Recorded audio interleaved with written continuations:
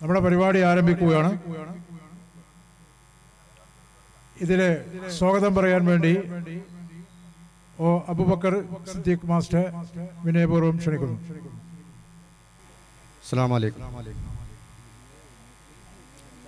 ബഹുമാന്യരായ മുസ്ലിം ലീഗ് ഏറനാട് മണ്ഡലം general secretary P P Safarulla Sahib Muslim ലീഗിന്റെ ഏറനാട് മണ്ഡലം vice president Sahib Muslim League panchayat president professor K Nasar Sahib general secretary K C A Shukoor Sahib panchayat vice president P P Rahman Sahib ഈ യോഗത്തിൽ അധ്യക്ഷം വഹിക്കുന്ന ബഹുമാനായ K T Basheer Sahib K Abubakar master P C Abdul Gafoor Ashraf Sameer മറ്റു പ്രിയ സഹോദരങ്ങളെ. നമ്മളൊക്കെ മനസ്സിലാക്കിയതുപോലെ ഇന്ത്യൻ ന്യൂനപക്ഷങ്ങളുടെ ആശാകേന്ദ്രമായ ഇന്ത്യൻ യൂണിയൻ മുസ്ലിം ലീഗിന്റെ എഴുപത്തിനാലാമത് ജന്മദിനം ആഘോഷിക്കുകയാണ് നാം ഈ സന്ദർഭത്തിൽ. വളരെ എഴുപത്തിമൂന്ന് വർഷം പിന്നിട്ട് എഴുപത്തിനാലാമത്തെ വർഷത്തിലേക്ക് മുസ്ലിം ലീഗ് കടക്കുകയാണ്. മർദ്ദിതരും പീഡിതരുമായ ഒരു സമുദായത്തെ സമൂഹത്തിന്റെ മുഖ്യധാരയിലേക്ക് കൊണ്ടുവരുന്നതിന് വേണ്ടി അഹോരാത്രം പണിയെടുത്ത ഈ പ്രസ്ഥാനം നവോത്ഥാന രംഗത്ത് വഹിച്ച പങ്കുകൾ നിസ്തുല്യമാണ്. അതിന് ചരിത്രങ്ങളും മറ്റു കാര്യങ്ങളുമൊക്കെ രാഷ്ട്രീയ കാര്യങ്ങളുമൊക്കെ ഇവിടെ പറയാൻ പ്രാസംഗികന്മാരായ ആളുകളുള്ളത് കൊണ്ട് ഞാനതിലേക്ക് കടക്കുന്നില്ല.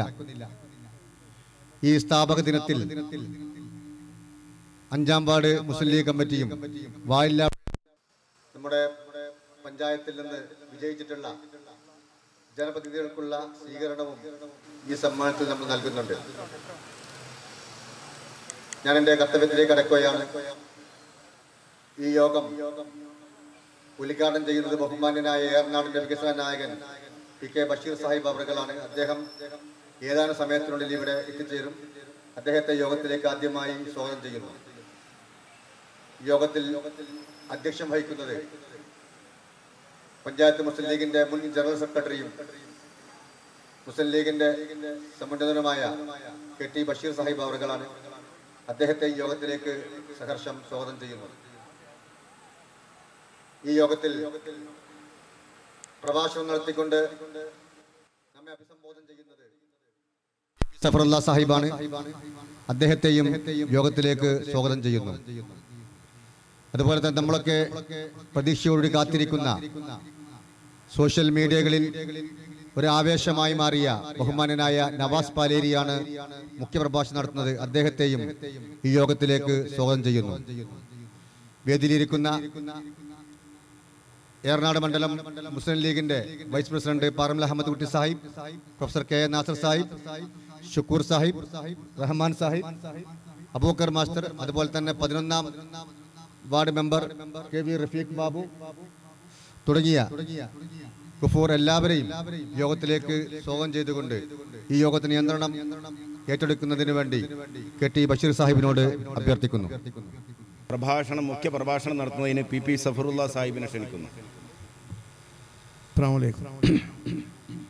ആദരണീയനായ നമ്മുടെ ഈ പരിപാടിയുടെ അധ്യക്ഷൻ പ്രിയപ്പെട്ട കെ ടി ബഷീർ സാഹിബ് വേദിയിലുള്ള നിയോജക മണ്ഡലം മുസ്ലിം ലീഗിന്റെ വൈസ് പ്രസിഡന്റ് പാറമൽ അഹമ്മദ് കുട്ടി സാഹിബ് കീഴ്വറമ്പ് പഞ്ചായത്ത് മുസ്ലിം ലീഗിന്റെ പ്രസിഡന്റ് പ്രിയപ്പെട്ട K N Asaf Sahib general secretary Shukoor പ്രിയപ്പെട്ട ബി പി റഹ്മാൻ അബൂബക്കർ മാസ് പഞ്ചായത്ത് മെമ്പർ റഫീഖ് ബാബു വേദിയിലും പുറത്തുമുള്ള പ്രിയപ്പെട്ട സഹപ്രവർത്തകരെ നാട്ടുകാരെ സുഹൃത്തുക്കൾ ഇന്ത്യൻ യൂണിയൻ മുസ്ലിം ലീഗിന്റെ എഴുപത്തിമൂന്ന് വർഷം പിന്നിട്ട് ഇവിടെ സൂചിപ്പിച്ചതുപോലെ എഴുപത്തിനാലാം വർഷത്തിലേക്ക് കടക്കുന്ന ഈ സന്ദർഭത്തിൽ അതിന്റെ ആഘോഷ പരിപാടിയുടെ ഭാഗമായിട്ടാണ് വാലില്ലാപ്പുഴ മുസ്ലിം ലീഗ് കമ്മിറ്റി ഇങ്ങനെ ഒരു പരിപാടി ഇവിടെ സംഘടിപ്പിച്ചിട്ടുള്ളത്. പ്രിയപ്പെട്ട നവാസ് ബാലേരി നമുക്കറിയാം നമ്മുടെ സോഷ്യൽ മീഡിയകളിലൂടെ ആയിരക്കണക്കിന് ആളുകളെ ആകർഷിക്കുന്ന ഗാനവും പ്രഭാഷണവുമായി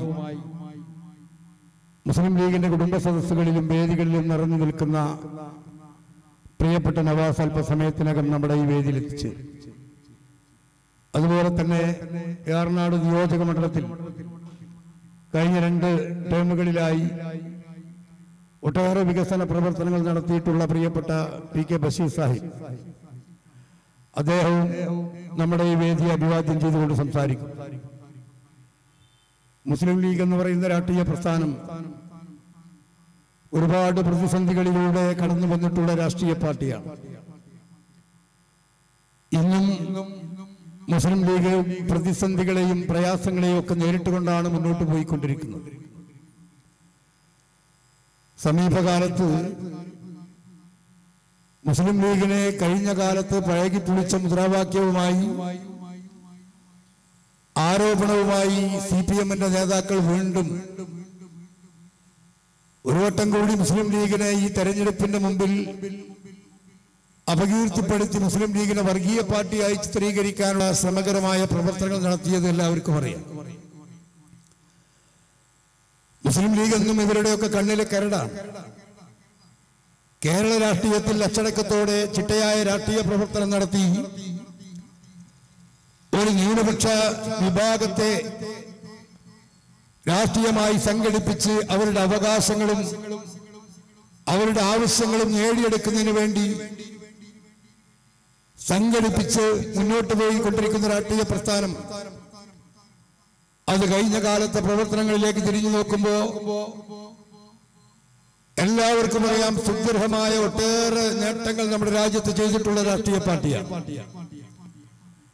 അതുകൊണ്ട് തന്നെയാണ് ലീഗിനെ എല്ലാ മേഖലകളിൽ നിന്നും ലീഗിനെ എതിർത്തുകൊണ്ടിരിക്കുന്നത്. കഴിഞ്ഞ രണ്ടാഴ്ച മുമ്പാണ് പ്രിയപ്പെട്ട രമേശ് ചെന്നിത്തലയും അതുപോലെ തന്നെ കേരളത്തിന്റെ പ്രഗത്ഭനായിരുന്ന മുൻ മുഖ്യമന്ത്രി ശ്രീമാൻ ഉമ്മൻചാണ്ടിയും ബഹുവന്യനായ പാണക്കാട് സയ്യിദ് ഹൈദറിന്റെ ശിഹാബ് തങ്ങളെ കാണുന്നതിന് വേണ്ടി പാണക്കാട്ട് എത്തിയത്. അതൊരു പുതിയ സംഭവമല്ല. പാണക്കാട് എന്ന് പറയുന്ന മുസ്ലിം ലീഗിന്റെ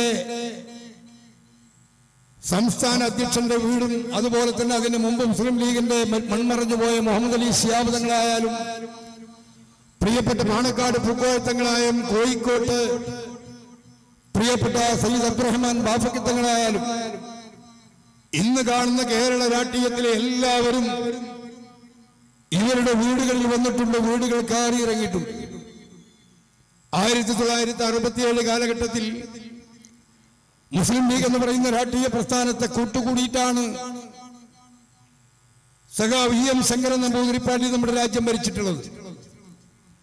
തൊട്ടുകൂടാത്ത വർഗീയ പാർട്ടി എന്ന് മുസ്ലിം ലീഗിനെ ഇപ്പോഴും അധിക്ഷേപിച്ചുകൊണ്ടിരിക്കുന്ന മാർക്സിസ്റ്റ് കമ്മ്യൂണിസ്റ്റ് പാർട്ടി അവർ കടന്നു വന്നിട്ടുള്ള കേരള രാഷ്ട്രീയത്തിലെ ഇ എം ശങ്കരൻ നമ്പൂതിരിപ്പാടിനെ പോലുള്ള ഒരാളെ കേരളത്തിന്റെ മുഖ്യമന്ത്രിയാക്കിയത്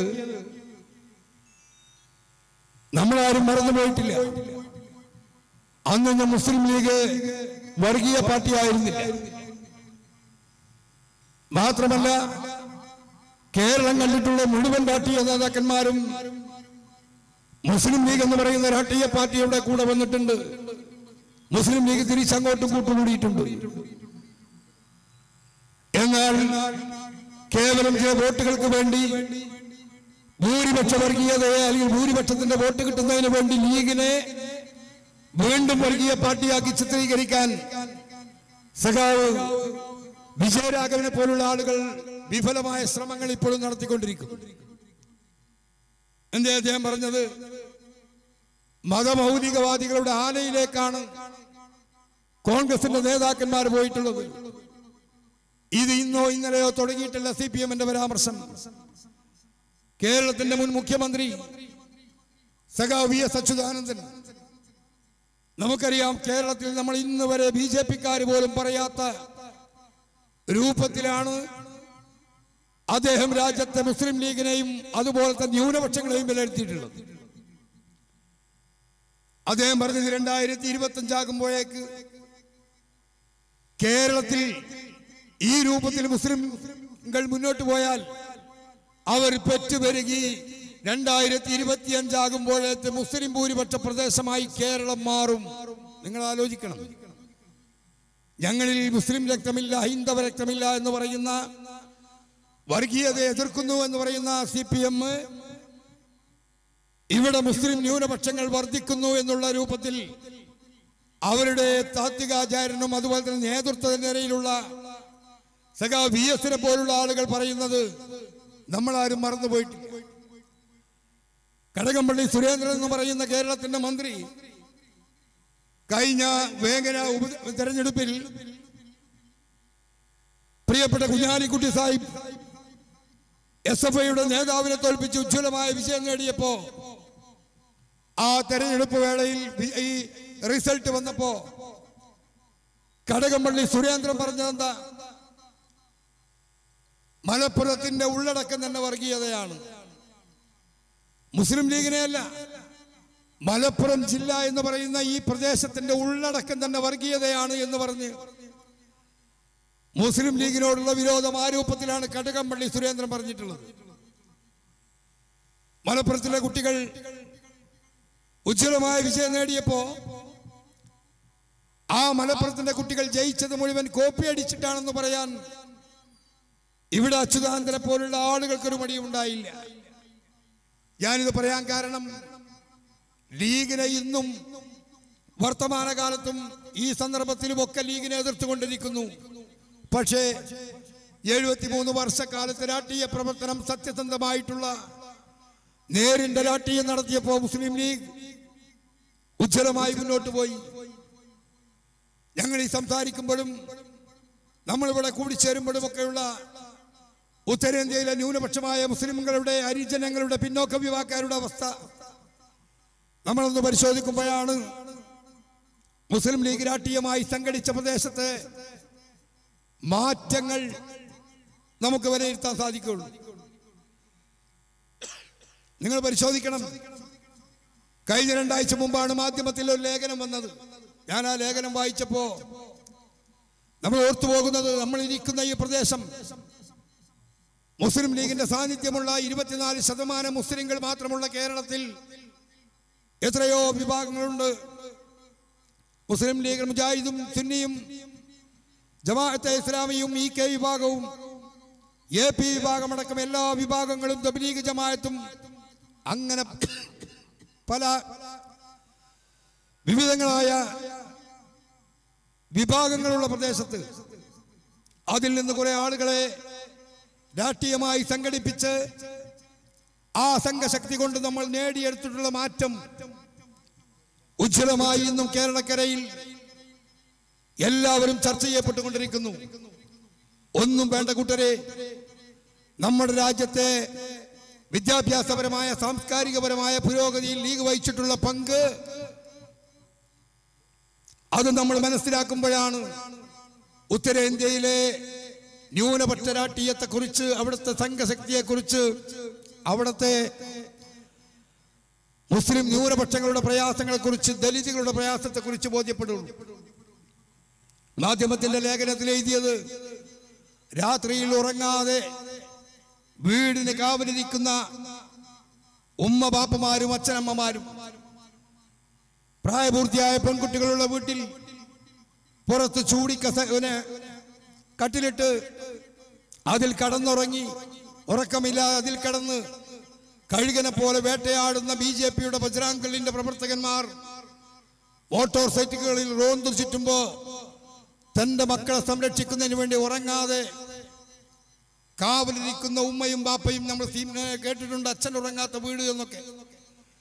പക്ഷെ അതൊരു സിനിമയുടെ പേരാണെങ്കിൽ അച്ഛൻ ഉറങ്ങാത്ത യഥാർത്ഥത്തിൽ ഉത്തരേന്ത്യയിലെ തെരുവോരങ്ങളിൽ എഴുപത്തിമൂന്ന് വർഷം കഴിയുമ്പോഴും നമ്മുടെ സഹോദരന്മാർ കഷ്ടപ്പെട്ടുകൊണ്ടിരിക്കുകയാണ്. അവിടെയാണ് ലീഗ് ചെയ്തു എന്ന് ചോദിക്കുന്നവരോട് നമുക്ക് പറയാനുള്ളത്.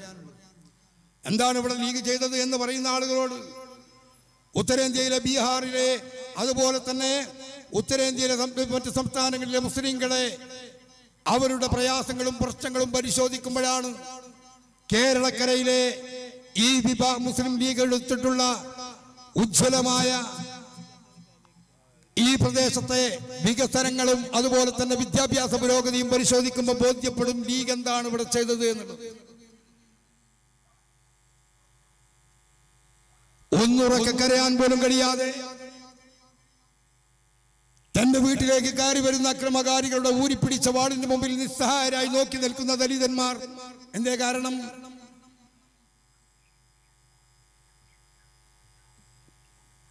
ബീഫ് കഴിച്ചതിന്റെ പേരിൽ അല്ലെങ്കിൽ ബീഫ് ഏതെങ്കിലും കന്നുകാലിയുടെ തോൽ ഊറക്കിടാൻ കൊണ്ടുപോയതിന്റെ പേരിൽ ടെലിഫോൺ കാളിൽ കമ്പി കേബിൾ കൊണ്ട് കെട്ടിവരിഞ്ഞു മുറുക്കി ദലിതനെ തൂക്കിയിടുന്ന ചിത്രം ഇന്നും നമ്മൾ കണ്ടുകൊണ്ടിരിക്കുന്നു.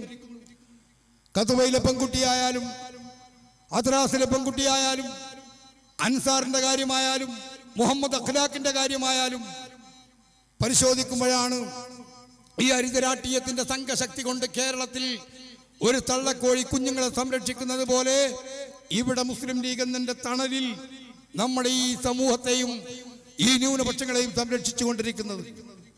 ഇവിടെ മാർക്സിസ്റ്റുകാരുണ്ടല്ലോ.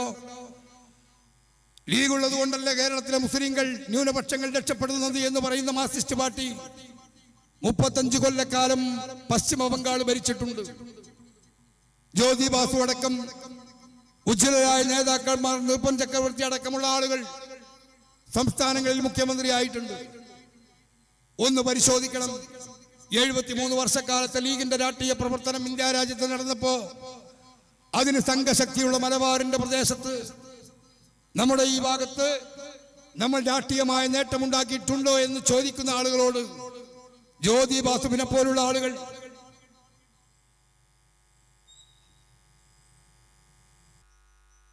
ലീഗ് ഉള്ളത് കൊണ്ടല്ല. സി പി എമ്മിന്റെ നിലപാട് കൊണ്ടാണ് അവർ രാഷ്ട്രീയമായി സംഘടിച്ചത് കൊണ്ടാണ് ഇവിടെ വികസനമുണ്ടായത് മുസ്ലിങ്ങൾക്ക് പുരോഗതി ഉണ്ടായതെന്ന് പറയുന്ന ആളുകളോട്. മുപ്പത്തഞ്ച് കൊല്ലക്കാലം പശ്ചിമ ബംഗാൾ ഭരിച്ച് അവസാനം ടാറ്റക്കും ബുർലക്കും വേണ്ടി ഭൂമി പണയപ്പെടുത്തി കർഷകരെ കഷ്ടപ്പെടുത്തി ഇറങ്ങിപ്പോയിട്ടുള്ള സി പി എം അധികാരത്തിലെത്താൻ വേണ്ടി ഇന്ന് കോൺഗ്രസിന്റെ കൈപ്പത്തി ചിഹ്നത്തിന് വേണ്ടി വോട്ട് പിടിക്കാൻ നടക്കുന്ന മാർസിസ്റ്റ് പാർട്ടി. നിങ്ങൾ പരിശോധിക്കണം ആ ഉത്തരേന്ത്യ പിന്നെ പശ്ചിമ ബംഗാളിലെ അവിടുത്തെ ന്യൂനപക്ഷമായ മുസ്ലിം സമുദായത്തിന്റെ പിന്നോക്ക വിഭാഗങ്ങളുടെ അവസ്ഥ എന്താണ് എന്ന് പരിശോധിക്കുമ്പോഴാണ് കേരളക്കരയിൽ നമ്മൾ നടത്തിയിട്ടുള്ള ഈ മായാചാരത്തിന്റെ വില അറിയുള്ളൂ എന്തായിരുന്നു നമ്മുടെ സ്ഥിതി? ഞാൻ അധികമൊന്നും പ്രസംഗിക്കുന്നില്ല. എഴുപത്തി മൂന്നാം വാർഷികത്തിലേക്ക് ലീഗ് കടക്കുമ്പോൾ നമ്മൾ കടന്നു വന്ന വഴികളെ കുറിച്ച് പറഞ്ഞു എന്ന് മാത്രമേ ഉള്ളൂ. എഴുതാനും വായിക്കാനും അറിയാത്ത സമൂഹത്തിന്റെ മുഖ്യധാരയിൽ നിന്ന് അകറ്റപ്പെട്ടൊരു വിഭാഗം പോലീസ് സ്റ്റേഷനിലേക്ക് കയറി ചെന്നാൽ പോടാ മേത്ത എന്ന് പറഞ്ഞ് ആക്ഷി അകറ്റിയിരുന്ന ഒരു കാലഘട്ടം. കൂട്ടി വായിക്കാൻ അറിയാതെ ഒരു ജോലിക്ക് വേണ്ടി അല്ലെങ്കിൽ വിദ്യാഭ്യാസം പോലും നേടാൻ ഹൈസ്കൂൾ വിദ്യാഭ്യാസത്തിന് പോലും മലപ്പുറത്തേക്ക് പോയിരുന്നൊരു കാലം. ഹൈസ്കൂൾ വിദ്യാഭ്യാസം നേടാൻ എട്ടാം ക്ലാസ് പഠിക്കാൻ എൻ ബി ഇബ്രാഹിം മോശൊക്കെ പഠിച്ചത് മലപ്പുറത്താണ് ആ ഒരു കാലഘട്ടത്തിൽ നിന്ന് മാറ്റിയെടുത്തു എങ്ങനെ? അലാവുദ്ദീന്റെ അത്ഭുത വിളക്ക് പോലെ സി എച്ച് മുഹമ്മദ് ഗോയ സാഹിബിന്റെ കാലഘട്ടത്തിൽ. നമ്മുടെ ജുമയിലെയും മറിയക്കുട്ടിയും ജമീലയും ഒക്കെ പതിമൂന്ന് വയസ്സിലും പതിനാല് വയസ്സിലും കെട്ടിച്ചയച്ചിരുന്ന ആ കാലഘട്ടത്തിൽ സ്കൂളിൽ പോകാൻ മടി കാണിച്ചിരുന്ന കയ്യാൻ സ്കൂളിൽ പോകാൻ പുസ്തകം വാങ്ങാൻ പോലും ഗതിയില്ലാത്ത കാലഘട്ടത്തിൽ അവരെ സ്കൂളിലേക്ക് ആകർഷിക്കുന്നതിന് വേണ്ടി ഒരു പതിനഞ്ച് ഉറുപ്പിക സ്കോളർഷിപ്പ് എന്ന് പറയുന്ന പദ്ധതി ഉണ്ടാക്കിയത് മഹാനായ സി എച്ചിന്റെ കാലഘട്ടത്തിലാണ്. അന്നെല്ലാവരും കളിയാക്കി. കാലം മുന്നോട്ട് പോയി. ഓറിയന്റൽ എസ് എൽ സികൾ വന്നു. പത്താം ക്ലാസ് പാസ്സായവനെ പിടിച്ച് അധ്യാപകനാക്കിയപ്പോ സി പി എമ്മിന്റെ എം എൽ എ അടക്കം നിയമസഭയിൽ പറഞ്ഞ എന്താ? ചെരുപ്പ് കുത്തുന്നവനെയും കൊട നന്നാക്കുന്നവനെയും പിടിച്ച് കോയ അധ്യാപകരാക്കിയിട്ടുണ്ട്. പരിഹാസങ്ങൾ നമ്മൾ കേട്ടു. എന്തായിരുന്നു കാരണം? കുറച്ച് അറബി അധ്യാപകന്മാരെ സൃഷ്ടിച്ചു എന്നൊരൊറ്റ കാരണം കൊണ്ട്. ഞാനിത് പറയാൻ കാരണം ഇന്ന് വാലില്ലാബോയിൽ ജനിക്കുന്ന ഒരു കുട്ടിക്ക് മൂന്ന് വയസ്സായാൽ എൽ കെ ജി നാല് കഴിഞ്ഞാൽ നാലാം വയസ്സിൽ യു കെ ജി. അത് കഴിഞ്ഞാൽ ഒന്നാം ക്ലാസ് മുതൽ പഠിച്ച എസ് എൽ സി വരെ. അത് കഴിഞ്ഞ് plus two degree P G B Ed T T C engineering medical. അടക്കം നമ്മുടെ ജില്ലയിൽ തൊട്ട് കൈവുള്ള ഈ കൈയെത്തുന്ന ദൂരത്ത് കൊണ്ടുവന്നതിന്റെ പിന്നിലുള്ള ചാലക ശക്തി ആരാണ്? പരിശോധിക്കണം ലീഗ് എന്താ ഇവിടെ ചെയ്തത്. ലീഗ് എന്ത് ചെയ്തു എന്ന് ചോദിക്കുന്നവർ പരിശോധിക്കണം. കൂട്ടി വായിക്കാൻ അറിയാത്ത എഴുതാൻ അറിയാത്ത പിന്നോക്ക വിഭാഗത്തിൽപ്പെട്ട തട്ടമിട്ട ഒരു പെൺകുട്ടി ഒരു ജോലിയിൽ കയറുന്നത് സ്വപ്നം കണ്ട സി എച്ചും സിദി സാഹിബും. ആദ്യമായി അരീക്കോട്ട് ആയിഷുമ്മ ടീച്ചർ അറബി അധ്യാപികയായപ്പോ കണ്ണൂരിൽ ചാർജ് എടുത്തു. ആളുകൾ കൗതുകത്തോടെ കാണാൻ വന്നു. അതൊരു അത്ഭുതമായിരുന്നു. ഒരു മുസ്ലിം പെണ്ണ് മൊക്കനെ ഇട്ടിട്ട് അറബി അധ്യാപികയായത്. ആ കാലഘട്ടത്തിൽ നിന്ന് മാറി എടക്കരയിലെ സെറിൻ എന്ന് പറയുന്ന ഒരു പെൺകുട്ടിയാണ് അമേരിക്കയും ബ്രിട്ടനും കണ്ടുപിടിക്കുന്നതിന് മുമ്പ്. ഇതാ ആകാശലോകത്ത് പുതിയൊരു നക്ഷത്രമുണ്ടെന്ന് കണ്ടുപിടിച്ച് മാലോകരോട് വിളിച്ചു പറഞ്ഞ് അമേരിക്കയിൽ കോടിക്കണക്കിന് രൂപ ശമ്പളം വാങ്ങി ജോലി ചെയ്യുന്ന മലപ്പുറം ജില്ലയിലെ ഈ അത്ഭുതമുണ്ടാക്കിയത് ആരാണ്? കേരളത്തിൽ ഈ അത്ഭുതം തൊട്ടിച്ചത് ആരാണ്? അതാണ് ലീഗ് ചെയ്തത്. എന്നാലും ലീഗിനെ ഏത് സമയത്തും ഏത് സമയത്തും ലീഗിനെ തെറി പറയുന്ന ആളുകൾ ഞാൻ ആ ഭാഗത്തേക്കൊന്നും പോകുന്നില്ല. ലീഗ് ഇവിടെ പുതിയ ചരിത്രം സൃഷ്ടിച്ചിട്ടുണ്ട്. ലീഗ് ഇവിടെ വിപ്ലവകരമായ മാറ്റങ്ങൾ ഉണ്ടാക്കിയിട്ടുണ്ട്. അതുകൊണ്ട് എഴുപത്തിമൂന്ന് വർഷത്തേക്ക് പിന്തിരിയുമ്പോൾ പ്രിയപ്പെട്ട കായികമില്ലത്ത് മുഹമ്മദ് ഇസ്മായിൽ സാഹിബ് ആയിരത്തി തൊള്ളായിരത്തി നാൽപ്പത്തി എട്ട് മാർച്ച് മാസം പത്താം തീയതി പ്രതിസന്ധികളിൽ ഉലഞ്ഞു കിടക്കുന്ന അല്ലെങ്കിൽ നേറിക്കൊണ്ടിരിക്കുന്ന ഇന്ത്യൻ രാഷ്ട്രീയത്തിൽ ചരിത്രത്തിന്റെ നാൽക്കവര പ്രിയപ്പെട്ട നവാസ് പലേരി കടന്നു വരുന്നു ചരിത്രത്തിന്റെ നാൽക്കവരകളിൽ നമ്മൾ സാഹിത്യ ഭാഷയിൽ പറഞ്ഞാൽ ഒറ്റപ്പെട്ട് കിടക്കുന്ന ഒരു സമുദായം എങ്ങോട്ട് തിരിയണമെന്നറിയാതെ ലക്ഷ്യം കാണാതെ ആ നാൽക്കവരിൽ ഒറ്റപ്പെട്ടപ്പോൾ അവർക്ക് ദിശ കാണിച്ചു കൊടുത്തുകൊണ്ട് ഇതാ നമുക്ക് ഈ അരിതക്കൊടിയുടെ കീഴിൽ സംഘടിക്കാമെന്ന് പറഞ്ഞുകൊണ്ട് മുന്നോട്ട് കൊണ്ടുപോയ രാഷ്ട്രീയ പാർട്ടി. ആ രാഷ്ട്രീയ പാർട്ടി ഇവിടെ നേരത്തെ പറഞ്ഞതുപോലെ ഒരുപാട് മാറ്റങ്ങൾ ഉണ്ടാക്കിയിട്ടുണ്ട്. ഞാൻ അവസാനിപ്പിക്കുന്നു ഇവിടെ തെരഞ്ഞെടുപ്പ് വരികയാണ്. ഏപ്രിൽ ആറാം തീയതി തെരഞ്ഞെടുപ്പാണ്. കേരളത്തിൽ കഴിഞ്ഞ നാലര കൊല്ലം നാലേ മുക്കാ കൊല്ലമായി സഖാവ് പിണറായി വിജയൻ ഭരിച്ചുകൊണ്ടിരിക്കുകയാണ്. ആ പിണറായി വിജയൻ ഇന്ന് നമ്മൾ മീഡിയകളിൽ കണ്ടുകൊണ്ടിരിക്കുന്നത് സി പി എമ്മിനകത്തുള്ള പൊട്ടിത്തെറിയും പ്രതിഷേധ പ്രകടനങ്ങളും ഒക്കെയാണ് എന്താ കാരണം? കഴിഞ്ഞ നാലര കൊല്ലം കുറച്ചൊക്കെ എതിർപ്പുണ്ടായിരുന്ന ആളുകളുണ്ടായിരുന്നു മന്ത്രിസഭയിൽ. അവരെയൊക്കെ വെട്ടി നിരത്തി. അവരെയൊക്കെ വെട്ടി നിരത്തി. സുധാകരന് സീറ്റില്ല. തോമസ് ഐസക്കിന് സീറ്റ് വേണ്ട. ഇതൊക്കെ തീരുമാനിക്കുന്ന ഇതാണ് രാമകൃഷ്ണന് സീറ്റില്ല. രാമകൃഷ്ണനെ ചോദ്യം ചെയ്തേക്കുമെന്നുള്ള ഭയപ്പാടോടുകൂടിയാണ് സീറ്റ് കൊടുക്കാത്തതെങ്കിൽ ഐസക്കിനെയും അതുപോലെ തന്നെ സുധാകരനെയും ഒക്കെ വെട്ടി മാറ്റിയപ്പോൾ അമ്പലപ്പുഴയിലും ആലപ്പുഴയിലും മഞ്ചേശ്വരത്തും പൊന്നാനിയിലും കുറ്റാടിയിലും അടക്കം നമ്മൾ ഈ പ്രസംഗിക്കുമ്പോഴും പ്രതിഷേധം നടന്നുകൊണ്ടിരിക്കുക സി പി എമ്മിന്റെ ചരിത്രത്തിൽ ഇല്ലാത്ത പ്രതിഷേധം. ഒരു ഫിറോവിനെ പോലെ ഏകാധിപതിയായി നാലേ മുക്കാ കൊല്ലം രാജ്യം ഭരിച്ച പിണറായി വിജയൻ ഞങ്ങൾ ഒന്ന് ചോദിക്കട്ടെ കൂട്ടരെ കഴിഞ്ഞ യു ഡി എഫ് ഗവൺമെന്റ് കൊണ്ടുവന്ന വികസന നേട്ടങ്ങളാണ് കേരളക്കരയിൽ എടുത്തു പറയാൻ ഉള്ളത്. കണ്ണൂർ എയർപോർട്ട് എന്തായിരുന്നു? ഇ പി ജയരാജന്റെ നേതൃത്വത്തിൽ അവിടെ പ്രതിഷേധ പ്രകടനം നടത്തി കോടിയേരി ബാലകൃഷ്ണൻ ഉദ്ഘാ- ഉദ്ഘാടനം ചെയ്തു. എന്താ പ്രതിഷേധം? ഇത് മുതലാളിത്തത്തിന്റെ പ്രതീകമാണ് മാത്രമല്ല കണ്ണൂരിൽ ഇത് വന്നാൽ അവിടെ പാരിസ്ഥിതിക പ്രശ്നമുണ്ടാകുമെന്ന് പറഞ്ഞ അതിനെ എതിർത്ത ആളുകൾ ഇന്ന് ആ വിമാനത്താവളത്തിന്റെ അവകാശവാദവുമായി വരുമ്പോ നമ്മൾ മനസ്സിലാക്കണം ആദ്യം എതിർത്തവരാണ് ഇന്ന് അതിന്റെ രണ്ടാമത് ഉദ്ഘാടനം നടത്തിയത്. ഉമ്മൻചാണ്ടി ഭരിക്കുമ്പോൾ അവിടെ പറന്നിറങ്ങി.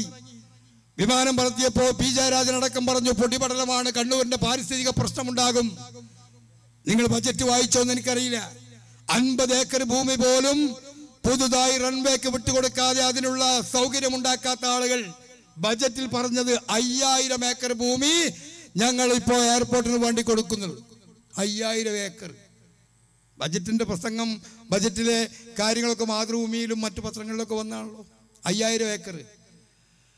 അതാ കൊച്ചിയിലെ മെട്രോ ഉമ്മൻചാണ്ടിയും കോൺഗ്രസ്സുകാരും അടക്കം എല്ലാ നേതാക്കന്മാരും സവാരി നടത്തി ഉദ്ഘാടനം ചെയ്തു പോയതാണ്. പക്ഷെ ഔദ്യോഗിക ഉദ്ഘാടനത്തിന് വേണ്ടി നരേന്ദ്രമോദിയെ കൊണ്ടുവന്ന് അതൊന്ന് ഉദ്ഘടിച്ചു എന്നുള്ളതല്ലാതെ കൊച്ചി മെട്രോക്ക് വേണ്ടി നിങ്ങൾ എന്താണ് ചെയ്തത്? മൂവായിരം കോടി യു പി എ ഗവൺമെന്റിന്റെ കാലത്ത് മൻമോഹൻ സിംഗ് കൊണ്ടുവന്ന വിഴിഞ്ഞം പദ്ധതി ആ വിഴിഞ്ഞം പദ്ധതിക്ക് വേണ്ടി ഇടതുപക്ഷ സർക്കാർ എന്തേ നമ്മൾ കൊണ്ടുവന്ന നേട്ടേ ഉള്ളൂ. ഇവിടെ ഉള്ള അകന്ത എലിക്കണിയിൽ തേങ്ങാപ്പുൾ വെച്ചതുപോലെ കിറ്റ് കാട്ടിയിട്ട് അതിന്റെ ഉള്ളിലേക്ക് ആ കണിപ്പെടുത്തി. കിറ്റിലുള്ള അഴിമതി മാത്രം അറിയാലോ? മൂന്നര റുപ്യക്ക് കിട്ടുന്ന ആ കോറ കൊണ്ടുണ്ടാക്കിയ സഞ്ചിയാണ് പതിമൂന്ന് അൻപതിന് ഹോൾസെയിലായിട്ട് ഇവർ ഗവൺമെന്റ് വാങ്ങിയിട്ടുള്ളത്. ലക്ഷങ്ങളുടെ തട്ടിപ്പാണ്. ഒരു റുപ്യ കിട്ടിയാൽ എൺപത്തഞ്ച് ലക്ഷം. ജനങ്ങൾക്ക് കൊടുക്കുന്ന കിറ്റിൽ ഒരു റുപ്യ മതി. അതിലാണ് ആറ് അൻപതൊക്കെ അധികട്ടിട്ട് വാങ്ങിയിട്ടുള്ളത്. അതിന്റെ ശർക്കരയും പഞ്ചസാരയും കഥ ഞാൻ പറയുന്നില്ല. നിങ്ങൾ കേരളത്തിൽ ചെയ്ത കാര്യങ്ങൾ എന്താ ഇവിടത്തെ വിദ്യാഭ്യാസ രംഗത്ത് എന്തെങ്കിലും വല്ല പുരോഗതി ഉണ്ടായോ? സ്വന്തക്കാരെയും ബന്ധക്കാരെയും യൂണിവേഴ്സിറ്റികൾ ഭാര്യമാരെയും പെങ്ങന്മാരെയും അതുപോലെ ബന്ധുക്കളെയും പിൻവാതിലൂടെ നിയമിച്ചു എന്നുള്ളതല്ലാതെ തൊഴിലിനു വേണ്ടി കഷ്ടപ്പെടുന്ന പാവപ്പെട്ടവൻ മുദ്രാവാക്യം പിടിച്ച് നമ്മുടെ രാജ്യത്തിലൂടെ തെരുവിലൂടെ ഡിവൈഎഫ്ഐയും അതുപോലെ തന്നെ എസ് എഫ് ഐക്കാരനും അലയുമ്പോ ഇവിടെ ബന്ധു നിയമനങ്ങൾ സ്വന്തം ഭാര്യക്കും മക്കൾക്കും രാജേഷിന്റെ ഭാര്യക്കും എം പി ജയേഷിന്റെ ഭാര്യക്കും എം എ ആർ റഹീമിന്റെ പെങ്ങൾക്കും ഒക്കെ കൊടുത്തു ഓരി വെച്ചതല്ലാതെ എന്താ ഉള്ളത് ഇങ്ങനെയുള്ള ഒട്ടനേകം കാര്യങ്ങൾ രാജ്യത്ത് നടത്തി ഇപ്പൊ തെരഞ്ഞെടുപ്പിന്റെ വക്കിലേക്ക് പോകുന്നു. കേരളത്തിലെ ജനങ്ങൾക്ക് ഒരുപാട് കാര്യങ്ങൾ പറയാനുണ്ട്. കൊലപാതക രാഷ്ട്രീയം ഒരുപാട് നടത്തി. ഞാൻ പറഞ്ഞല്ലോ ഇവിടെ തോമസ് ഐസക് നമ്മളോട് പറഞ്ഞെന്താ? മുണ്ട് മുറുക്കി ഉടുക്കാൻ. ആ മുണ്ട് മുറുക്കി ഉടുക്കാൻ പറഞ്ഞ തോമസ് ഐസക് ജനങ്ങളോട് പറയുമ്പോഴാണ് ഒരു കോടി രൂപ നൂറ് ലക്ഷമാണ് ഒരു കോടി. ആ ഒരു കോടി രൂപയാണ് ശരത് ലാലിന്റെയും കൃപേഷിന്റെയും കൊലപാതകികളെ സംരക്ഷിക്കാൻ സുപ്രീം കോടതി വക്കീൽ വരുന്നതിനും ചെലവുമായി കൊടുത്തത് വാദിക്കാൻ വേണ്ടി ഒരു കോടി. എവിടുന്നാ കൊടുത്തത്? സി പി എമ്മിന്റെ ഓഫീസിൽ കൊടുത്താണോ കമ്മിറ്റി കൊടുത്താണോ അല്ല പൊതുഖജനാവിൽ നിന്ന് കൊടുത്ത ഒരു കോടി. വി എസ് അച്യുതാനന്ദൻ വ്യക്തിപരമായിട്ട് ഞാനൊന്നും പറയുന്നില്ല. തൊണ്ണൂറ്റഞ്ച് വയസ്സ് കഴിഞ്ഞു. ആ വി എസ് അച്യുതാനന്ദൻ ഭരണപരിഷ്കാര കമ്മിറ്റിയുടെ ചെയർമാനായിരുന്നു. ഏത് ഭരണത്തിന്റെ പിണറായി ഇന്ന് ഭരിച്ചുകൊണ്ടിരിക്കുന്ന ഭരണപരിഷ്കാര കമ്മിറ്റിയുടെ ചെയർമാൻ വി എസ് അച്യുതാനന്ദൻ.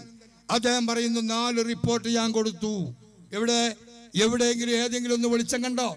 ഈ നാല് റിപ്പോർട്ടും പടച്ചോന്റെ തോഫിക്കോട് കൂടി പിണറായി ചുരുട്ടി കോട്ടയിലിട്ടു. അച്യുതാനന്ദൻ രാജിവെച്ച് പോയി. എപ്പോഴാണ് രാജിവെച്ചത് തെരഞ്ഞെടുപ്പ് പ്രഖ്യാപിക്കുന്നതിന്റെ ഒരു മാസം മുമ്പ് നാലു മണിക്ക് സ്കൂൾ വിടും. മൂന്ന് അമ്പത്തെട്ടിന് അമ്മൂപ്പര് ചോദിച്ചു പോയത്. ആ അച്യുതാനന്ദന് ചെലവ് പതിനേഴ് സ്റ്റാഫും വെച്ച് നാലര കൊല്ലം ഭരണപരിഷ്കാര കമ്മീഷന്റെ ചെയർമാനായ അച്യുതാനന്ദന് ചെലവഴിച്ചത് ഒമ്പതര കോടി. പ്രളയ ഫണ്ട് രണ്ടായിരം കോടി. പിണറായി വിജയൻ പിരിച്ചെടുത്തു. അന്ന് പറഞ്ഞു ചെന്നിത്തല ഇത് സ്വന്തം അക്കൗണ്ടിലേക്ക് വെക്കരുത്. ഇതിന് പ്രത്യേക അക്കൗണ്ട് തുടങ്ങണം. സമ്മതിച്ചില്ല. കൊടുത്തു പ്രളയ ഫണ്ട് ആർക്കൊക്കെ കൊടുത്തത്? ഉഴവൂർ വിജയൻ എന്ന് പറയുന്ന എൻ സി പിയുടെ നേതാവിന് എത്രയാ കൊടുത്തത്? ഇരുപത്തഞ്ച് ലക്ഷം. അദ്ദേഹം മരിച്ചുപോയ കുടുംബത്തിനാ കൊടുത്തത്. ഏതാ ഫണ്ട്? ഇവിടുത്തെ വീട്ടമ്മമാരും കുട്ടികളും അംഗനവാടിയിൽ നിന്നും മദ്രസയിൽ നിന്നും പിരിച്ചെടുത്ത് പള്ളിയിൽ നിന്നും മുണ്ടിട്ട് നമ്മളുണ്ടാക്കിയ പണം ആ പണമാണ് ഉഴവൂർ വിജയന്റെ കുടുംബത്തിന് കൊടുത്തത്.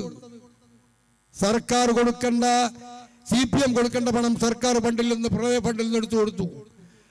ചങ്ങനാശ്ശേരിയിൽ M L A Ramachandran Nair അത് മരിച്ചുപോയി അദ്ദേഹത്തിന്റെ കുടുംബത്തിന് കൊടുത്തത് പതിനഞ്ച് ലക്ഷം. കോടിയേരി ബാലകൃഷ്ണൻ ഇപ്പൊ ലീവിലാണല്ലോ. ആ കോടിയേരി ബാലകൃഷ്ണന്റെ കാറ് തട്ടി മരിച്ച പോലീസ് ഉദ്യോഗസ്ഥന്റെ കുടുംബത്തിന് പതിനഞ്ച് ലക്ഷം. ഏതാ ഫണ്ട്? പ്രളയ ഫണ്ട്. നമ്മളെ നീല നീലാണ്ടനും വേലായുധനും മുഹമ്മദും ഇപ്പോഴും വില്ലേജ് ഓഫീസിലേക്ക് ഈ മൂവായിരത്തിന് വേണ്ടി നടക്കുകയാണ്. പ്രളയ ഫണ്ട് അട്ടിമറിച്ചു. സക്കീർ ഹുസൈനെ സഖാക്ക ഓർമ്മയുണ്ടോ? ആരാ സക്കീർ ഹുസൈൻ? കളമശ്ശേരി ഏരിയ സെക്രട്ടറി ആ കളമശ്ശേരി ഏരിയ സെക്രട്ടറി അടിച്ചു മാറ്റിയ എത്രയാ? എൺപത്തിയേഴ് ലക്ഷം. എങ്ങനെ അടിച്ചു മാറ്റിയത്? സ്വന്തം ഭാര്യ ബാങ്കിൽ. Bank manager. കളക്ടറേറ്റിലെ ഉദ്യോഗസ്ഥന്മാരുമായി ധാരണയുണ്ടാക്കി പ്രളയ ഫണ്ട് സ്വന്തം അക്കൗണ്ടിലേക്ക് വാരിയതിന്റെ പേരിലാണ് സക്കീർ ഹുസൈനെ പാർട്ടി പുറത്താക്കിയത്. ഇപ്പൊ തിരിച്ചെടുക്കുന്നു. അദ്ദേഹം ഉണ്ടാക്കിയത് നാല് മനോഹരമായ വീടുകളാണ്. എവിടുന്ന പണം? പ്രളയ ഫണ്ടിൽ നിന്ന്. ആ പ്രളയ ഫണ്ട് പോലും അടിച്ചു മാറ്റിയ വിദ്വാന്മാരാണ് ഇവിടെ ഉള്ളത്. എന്തിനേറെ നമ്മുടെ വെറ്റിലെ പാറയിലുള്ള പ്രളയ ക്യാമ്പൊക്കെ ഞാൻ അതിലേക്കൊന്നും കടക്കുന്നില്ല. ഇവിടെ പരിപാടി ആരംഭിക്കാറായി. അങ്ങനെ പ്രളയ ഫണ്ട് അടക്കം കേരളത്തിന്റെ ജനങ്ങൾക്ക് കിട്ടേണ്ട പണം സാധാരണക്കാരന്റെ പണം മുഴുവൻ അടിച്ചു മാറ്റിയ ഒരു ഗവൺമെന്റ്. ഇപ്പോ പിണറായി മാറി എന്ന് വിജയരാഘവൻ സെക്രട്ടറിയാണ് ആക്ടിങ് കോടിയേരി ബാലകൃഷ്ണൻ മാറി എന്നിട്ട് ആ കോടിയേരി ബാലകൃഷ്ണൻ എന്തിനാ മാറിയത്? മനുഷ്യന്റെ മുഖത്ത് നോക്കാൻ വയ്യേറ്റന്നെ. അദ്ദേഹത്തിന് അദ്ദേഹത്തിന് അസുഖം മൂർജിച്ചിട്ടൊന്നുമില്ല ഇതിലപ്പുറം അസുഖമുണ്ടായ സമയത്തും അദ്ദേഹം നിന്നിട്ടുണ്ട്. രണ്ട് മക്കളാണ് ബിനീഷും ബിനോയും ഒരാൾ റിസൾട്ട് കാത്തിരിക്കുന്നു. എന്തിന്റെ റിസൾട്ടാ ഞാൻ വേദിയിൽ നിന്ന് പറയാൻ ഉദ്ദേശിക്കുന്നില്ല. ബോംബെയിൽ പോയി കുറച്ച് തെണ്ണിപ്പൊക്കെ കാട്ടി അവസാനം ഡി എൻ എ ടെസ്റ്റ് വേണമെന്ന് പറഞ്ഞു. ആ ഡി എൻ എ ടെസ്റ്റിന് വേണ്ടി കാത്തിരിക്കുകയാണ്. എസ് എൽ റിസൾട്ടല്ല മറ്റേ കോടിയേരിയോ? മയക്കുമരുന്നും കഞ്ചാവും ചരസും ഹോൾസെയിലായിട്ട് വിൽക്കുന്ന ഡീലറാണ് ആർക്ക്? സിനിമാ നടിമാർക്ക് നടന്മാർക്ക്. അങ്ങനെ യുവാക്കളെ മുഴുവൻ കൊല്ലുന്ന ചരസും കഞ്ചാവിന്റെയും ഏജന്റ്. രണ്ട് മക്കളാ മൂപ്പർക്ക്. നമ്മളെ തവരൂര് കുട്ടി പറഞ്ഞ പോലെ ചിലവലത്ത് ശരിയാവും ചിലവലത്ത് ശരിയാവില്ല ഇത് രണ്ടും ശരിയായില്ല. അവസാനം ഭാര്യ മാറ്റുമ്പോൾ തന്നെ പുറത്തുണ്ടെന്ന് വിചാരിച്ചിരുന്നു.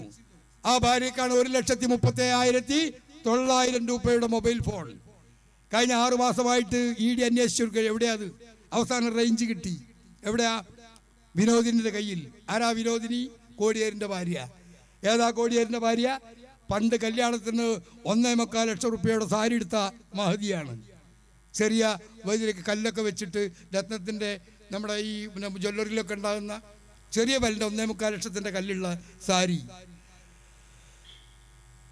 ഈ കൊടുത്തയച്ച കൈക്കൂലിയാണ് ഏതാ? നിങ്ങളൊന്ന് ആലോചിച്ച് നോക്കി. ഏതാ മാർക്സിസ്റ്റ് പാർട്ടി പദ്ധതി?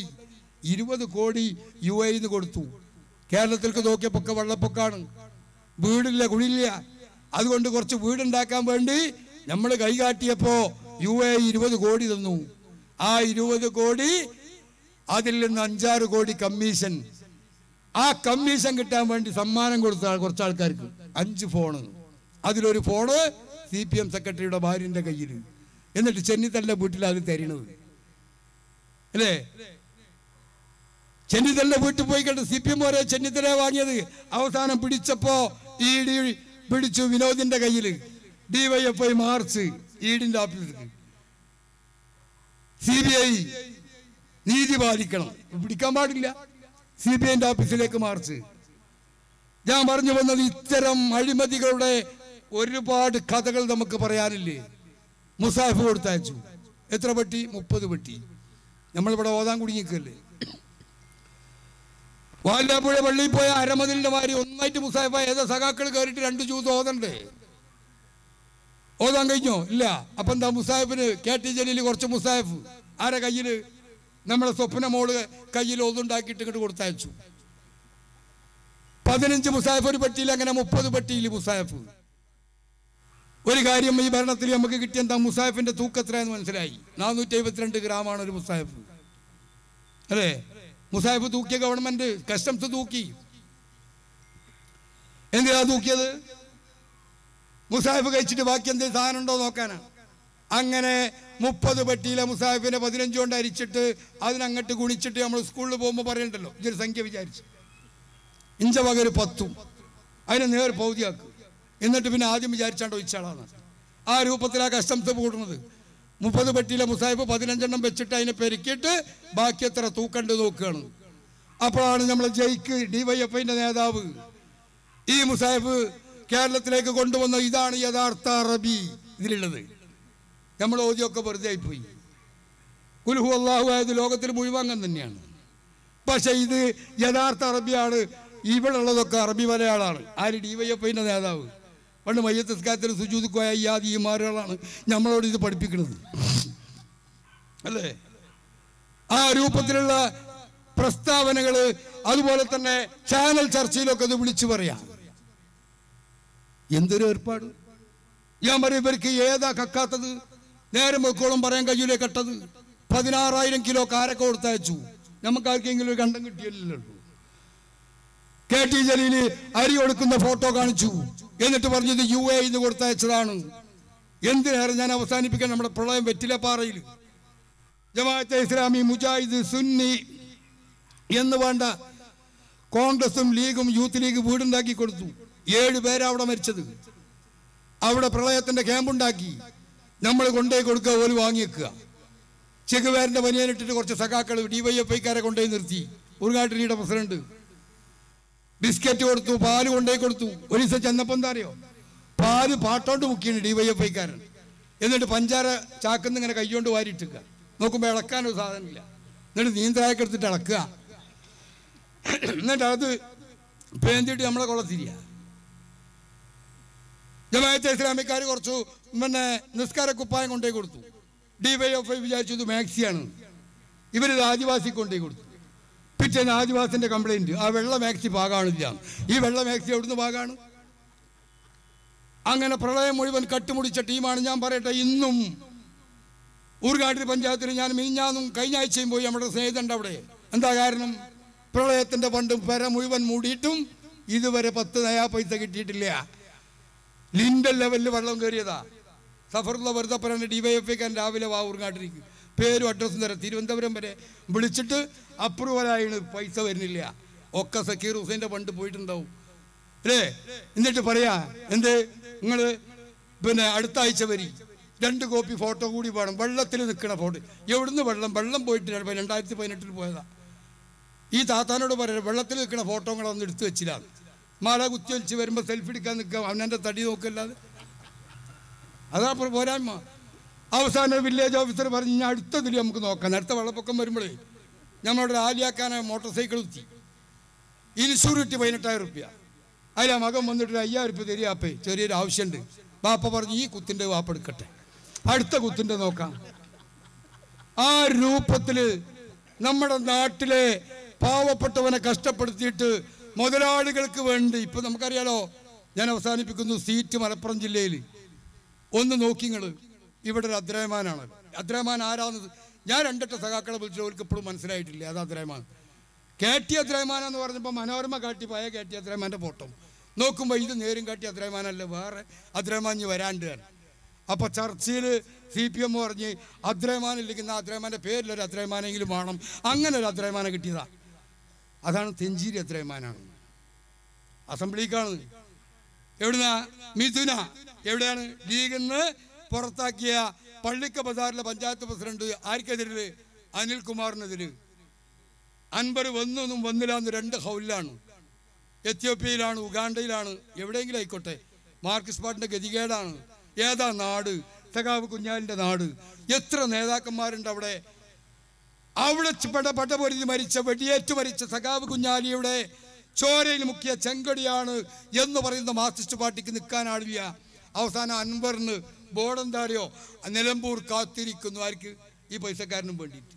മാർക്സിസ്റ്റ് പാർട്ടി പാവപ്പെട്ടവന്റെ പാർട്ടിയാ. നേരെ പോക എവിടേക്ക് പെരിന്തൽമണ്ണയിൽ കെ പി മുസ്തഫ. റജിയാവു ചെല്ലണ്ട ഇതൊരു സ്ഥാനാർത്ഥിയാണ്. ആ മുസ്തഫ ഏതാ? ലീഗിൽ നിന്ന് അഞ്ചു കൊല്ലം മുമ്പ് പുറത്താക്കിയ മുസ്തഫ അവിടെ സ്ഥാനാർത്ഥി. തവനൂർ ചെല്ലപ്പോ പിന്നെ ജലീൽ രണ്ട് കൊല്ലം മൂന്ന് കൊല്ലം മൂപ്പർക്ക് വാതകല്ല. രാമകൃഷ്ണനെ വാതകുള്ളൂ. അതാണല്ലോ കുറ്റ്യാടി ജാഥ. അത് കഴിഞ്ഞ് അപ്പുറത്ത് ലില്ലി ഗഫൂർ. ആരാ ലില്ലി ഗഫൂർ? പേര് കേട്ട മുതലാളിയാ. കൊണ്ടോട്ടി ചെല്ലുമ്പോ സുലൈമാനാജി. ആരാ സുലൈമാനാജി കീശരിക്കാരനാ? ഒരു പാർട്ടിക്ക് ഒന്നെങ്കിലും പിടിച്ചു നിൽക്കാൻ ഒരു അരിവാളിന് വോട്ട് ചെയ്യാൻ മനുഷ്യന് ബുദ്ധി ഉണ്ടാവില്ല. ഒന്ന് ആലോചിച്ച് നോക്കി. പണ്ടൊരു കുട്ടി മരിച്ചു തള്ളന്റെ. അതിൽ കണ്ണൂക്കിന് കാവേണ കുടിച്ചിട്ട് പറഞ്ഞു ചെറുതെങ്കിൽ ചെറുത് അവനാന്റെ ഒന്ന് തീരണം.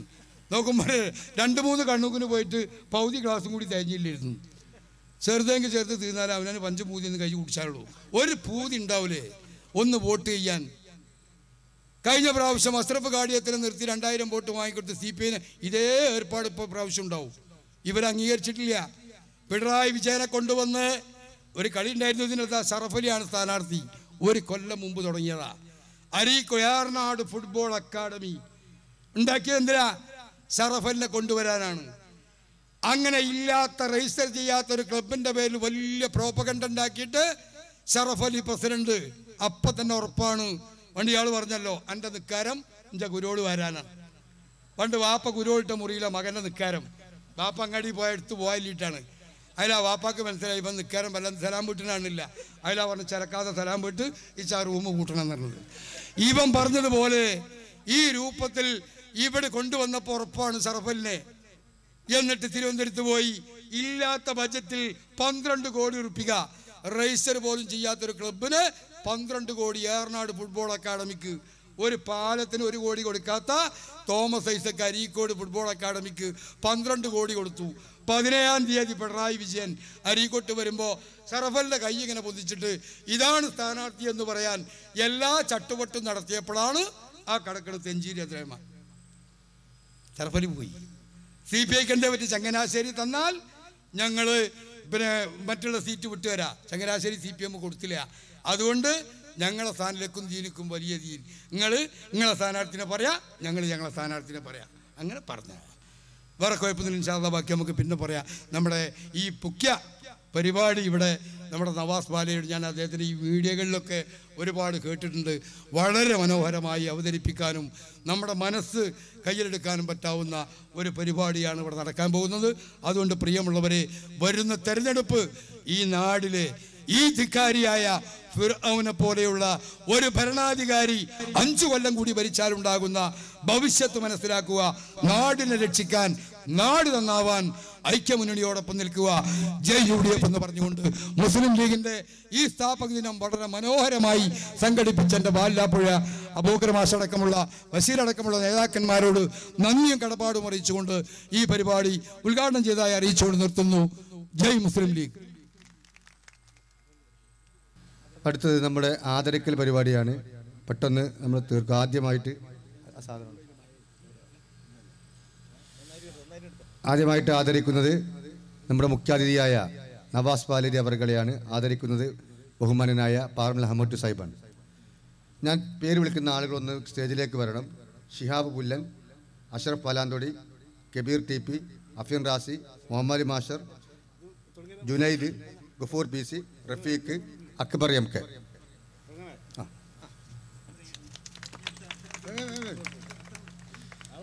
അടുത്തത് panchayat president Safiya V P A ആദരിക്കുന്നതിന് വേണ്ടി അഞ്ചാം വാർഡ് മുസ്ലിം ലീഗ് സെക്രട്ടറി ഷിയാബ് പുല്ലൻ.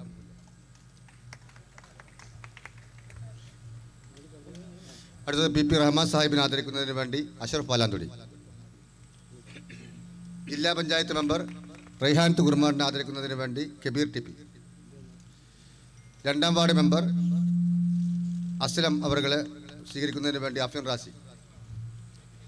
M P Abdurahim Junaid Rafeeq Babu K V Gafoor P C Ramla Beegum P P Rafeeq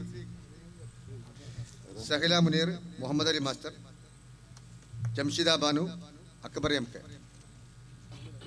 റഫീഖുടെ ആ.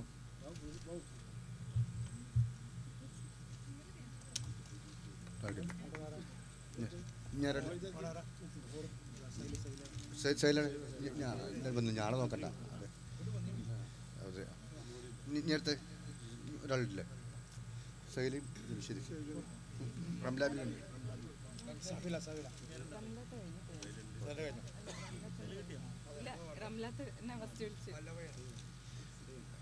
ജംഷിദ മനു സൈല. അത് കൊടുത്തു കൊടുത്തത്? ജംഷിദ. ബഷീറ കൊടുത്തു. പ്രഭാഷണം ഇനി നമ്മളേവരും പ്രതീക്ഷയോട് കാത്തിരിക്കുന്ന ബഹുമാന്യനായ നവാസ് പാലേരി നമ്മെ അഭിസംബോധന ചെയ്യും.